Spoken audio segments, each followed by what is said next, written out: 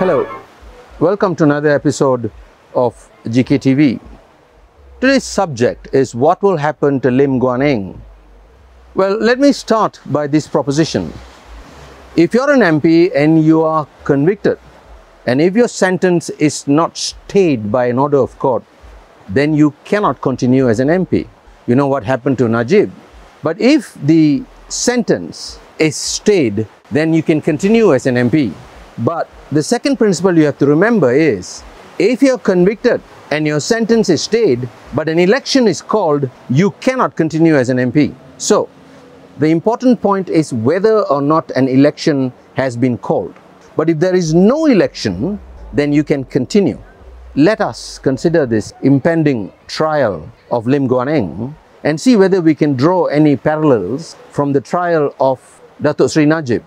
It seems to me that Najib took a tactical approach to his case. If the matter is delayed by various applications, then what will happen is, like a series of present cases which are now going on against various leaders of the previous regime. In Najib's trial, the strategy that was used was they would take every particular kind of objection that they could.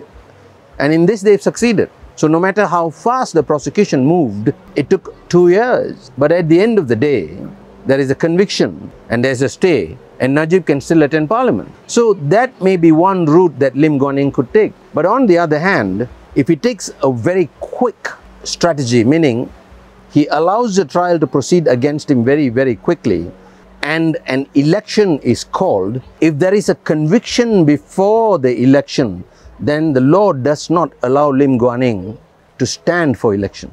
On the other hand, if no election is called and Lim Guan Eng is convicted, whether he moves on with his case swiftly or slowly, as the case may be, then if he is convicted, he can take a stay and he can still attend parliament. Of course, if he is acquitted, then there's no problem. Now, the Prime Minister cannot delay the election for too long. Pundits assess the likely election date to be sometime at the end of this year or very early next year. It would also depend on the monsoons, school holidays, the availability of schools as election centers and so forth. As to the merits of what will happen to Lim Guan Eng and his charge, no one can say. It all depends on the evidence, doesn't it? If the evidence is firm, that's fine. If the evidence is infirm, then we ask ourselves this question, on what basis were the charges brought?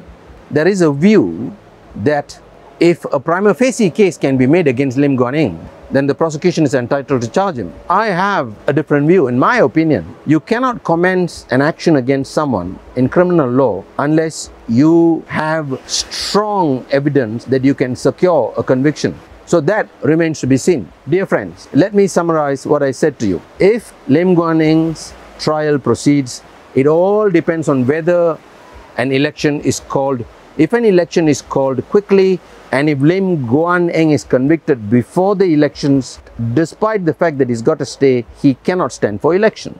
If he can get a stay and no election is called, he can continue as an MP.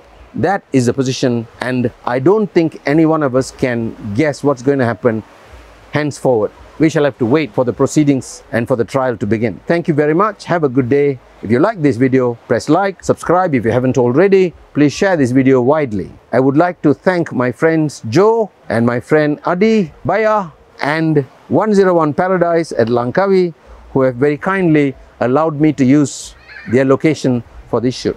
Thank you very much and have a good day.